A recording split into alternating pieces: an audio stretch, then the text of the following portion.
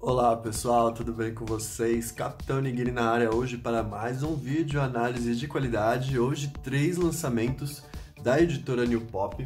São elas as duas novels, Shakugan no e Morte, e também Napping Princess. Bom, como vocês sabem, análises de novel eu não faço leitura porque são leituras bem extensas, então até eu terminar, enfim, o pessoal já se desinteressou pelo vídeo, mas eu vou deixar alguns comentários sobre Napping Princess, eu achei muito interessante esse título aqui.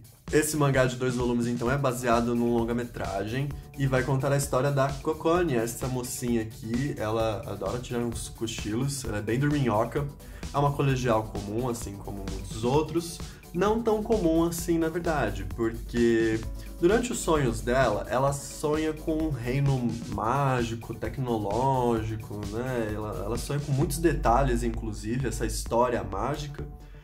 E é muito interessante que aí o autor ele meio que cruza a realidade da Kokone com esse mundo mágico através dos sonhos. Então você começa o capítulo lendo o, o, as cenas dentro desse mundo mágico e aí em seguida corta com ela acordando.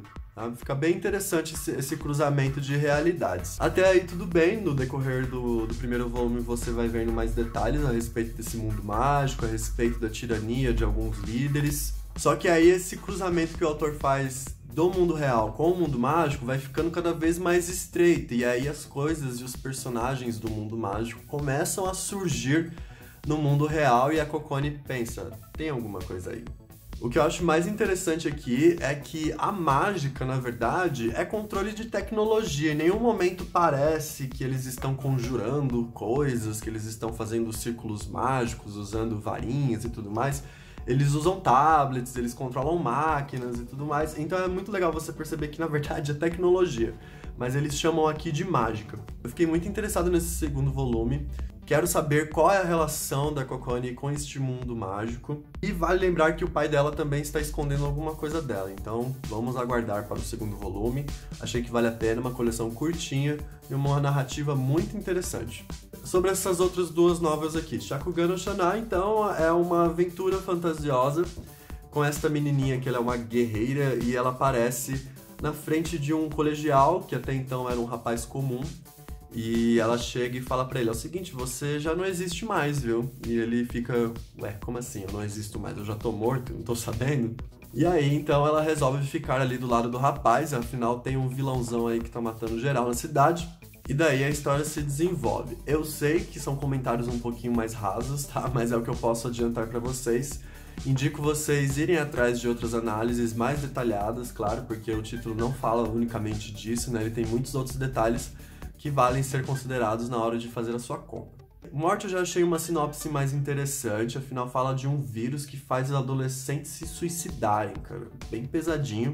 A história se passa num orfanato e tem diversos segredos rolando nesse, nesse orfanato. Eu achei muito legal. Essa menininha aqui aparece pro, perso pro personagem principal. E ela também vai trazer diversos outros mistérios. Afinal, parece que ela é agredida pelo pai dela, alguma coisa assim. Pai não, padrinho, corrigindo. E eu vi a galera vibrando bastante quando a New Pop anunciou isso aqui. A capa, sensacional, né? Não preciso nem falar.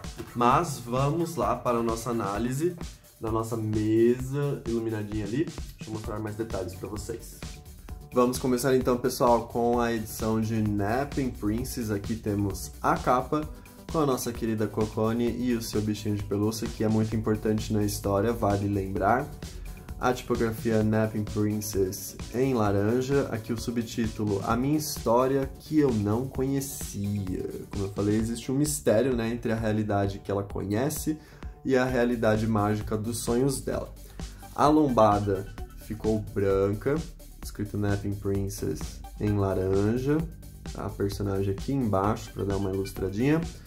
Na contracapa temos uma pequena sinopse a silhueta do ursinho e o restante é branco. Eu confesso que eu não curto muito esses fundos todo branco, essa, essa parte aqui toda limpa assim.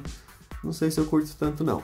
Aqui embaixo temos a classificação e os ícones de aventura e fantasia. Quando nós abrimos, a parte interna é toda preta, o outro lado também tudo preto, o aviso de que esta não é a primeira página e temos as páginas coloridas em papel couché começando a história no universo mágico que eu comentei, que é super tecnológico, cheio de máquinas e tudo mais. É muito interessante que o autor ele faz um paralelo com a nossa realidade, né? Então, uma cidade com trânsito, muitos prédios mais realistas, pessoas que trabalham bastante e tudo mais. E aqui temos mais uma ilustração colorida. E aqui já encerra as páginas coloridas. Aí temos as páginas em preto e branco. As primeiras são em papel couché ainda. E aí depois passamos para o papel off-white, certo? Eu achei um traço bem tradicional do mangá, nada que me surpreendesse, falar, nossa, que traço diferente, que traço original, que não sei o quê. Eu achei um traço bem comum para mangá, para ser sincero, tá? Mas bem detalhado, as máquinas são muito bem desenhadas, isso vale a pena dar uma olhadinha. Aqui no finalzinho nós temos alguns extras. Temos o pós-fácil com alguns rascunhos do autor. No caso, o ilustrador né, responsável. Aqui temos uma apresentação sobre os personagens. O bichinho de pelúcia dela se chama Joy. Mais algumas fichas dos personagens. Opa. E aqui já é o final do primeiro volume, tá? Então todos os extras são fichas de personagens. Napping Princess, então, é mais um mangá da editora New Pop, do autor Kenji Kamiyama e da ilustradora Hana Ichika completo com dois volumes, formato 12.8 por 18, 136 páginas em papel offset e as páginas coloridas em papel couché. Periodicidade mensal, classificação 14 anos, preço de capa 18 reais. Vamos agora para a novel Morte, a garota do funeral marítimo. Gostei muito desse subtítulo, Funeral Marítimo. A ilustração é linda, linda, linda. Eu gosto muito de azul e a artista disso aqui, meu Deus do céu, caprichou mesmo. A capa ficou sensacional, gostei bastante. A lombada, gostei desses detalhes aqui das bolhas, né? As bolhas que tem aqui na capa, elas vêm aqui para lombada, deu um detalhezinho bem bacana. A tipografia é a mesma da capa, com esse brilho azul, tá? Esse efeito de, de brilho em torno da letra. Tá? A contracapa temos uma sinopse e é mais preenchido com os degradês de azul. Aqui eu já acho mais interessante do que deixar tudo branco desse jeito, não é mesmo? Aqui embaixo então a classificação e os ícones que a New Pop sempre coloca nos seus títulos. Aqui no caso ela classificou como aventura e fantasia. Nós temos orelhas. Aqui tem sobre Keika Hanada e a Yoni Kazuki. Na outra orelha temos uma pequena sinopse. Já começamos então com as páginas coloridas em papel crochê, aqui no caso é a silhueta da menina. Nós viramos, temos a história sobre um milagre desesperador, uma história surgida da morte. Uma boa frase para se iniciar a obra, né? Aqui é um pôster, olha que coisa linda, gente. Puta merda. Colorização incrível, né? Incrível, incrível, incrível. E tem mais ilustração do outro lado, vejam só. Muito bonito. As cores eu curti demais, demais mesmo. Vamos fechar aqui o pôster. Mais uma folha em papel couché. Aqui já começa a história, tá? ainda no papel couché. E depois nós vamos para o papel Pollen Soft, que é o papel já usado nas novels. Assim como as outras novels da editora, né? É padrão, na verdade, de novels. Ela é bem ilustrada para uma melhor imersão na história. Deixa eu achar outras ilustrações aqui. Ó, aqui tem uma. Vejam só. Bem ilustrada. Legal, né? E essa nova também veio bem grossinha. Deixa eu pegar minha colinha aqui com as informações da edição física Morte, então, é uma história de Keika Hanada e arte de Yoni Kazuki, completo com três volumes, é bem curtinho. Formato 10.6 por 14.8, 360 páginas em papel Pollen Soft, páginas coloridas em papel couché, capa cartonada com orelhas, classificação 16 anos, preço de capa R$ 26,90.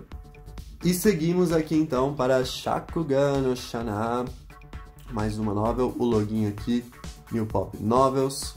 A capa é bem parecida com a capa do mangá, inclusive. A tipografia é a mesma do mangá. Aqui é a guerreira que aparece na vida do colegial e fala para ele que ele já não existe mais. Não é uma coisa muito boa de se ouvir, né?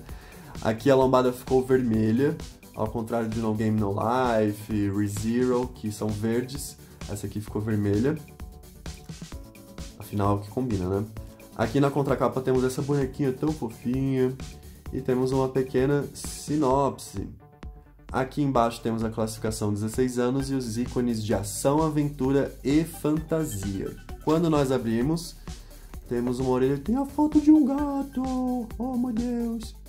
Tem uma palavrinha sobre os autores, na outra orelha tem a sinopse. Começamos aqui então com as páginas em papel couché, totalmente coloridas já com os personagens interagindo e conversando entre si. Mais uma ilustração muito bonita, por sinal. Vejam só. Bastante página colorida. Olha que bonitinho esse tibi, né? Achei muito legal. E aí já começamos na, no papel Pollen Soft, com prólogo e novamente temos muitas ilustrações aqui nessa novel. Deixa eu achar, ó. Temos uma ilustração aqui. Temos mais uma ilustração aqui. Tudo bem bonito, bem ilustrado. Vejam só. Deixa eu pegar a minha colinha então para passar as informações para vocês. Shakugan no Shana então é uma história de Yashichiro Takahashi e arte de Noisy Ito completo com 26 volumes, é uma história bem longa. Formato 10.6 por 14.8, essa edição aqui tem 344 páginas em papel Pollen Soft, páginas coloridas em papel couché, capa cartonada com orelhas, classificação 16 anos, preço de capa R$ 26,90. Essa foi a análise de Napping Princess, Shakugan no Shana e Morte, três lançamentos da editora New Pop. Espero que vocês tenham curtido o vídeo de hoje. Lembrando que esses títulos estão disponíveis lá no site do Capitão para vocês efetuarem o pedido. E, e, é isso. Nos vemos no próximo vídeo. Não se esqueça de deixar o seu joinha, de se inscrever no canal e de me seguir nas redes sociais. Capitão Nigiri mais uma vez agradece a atenção de todo mundo. Nos vemos no próximo vídeo. Eu me desligo.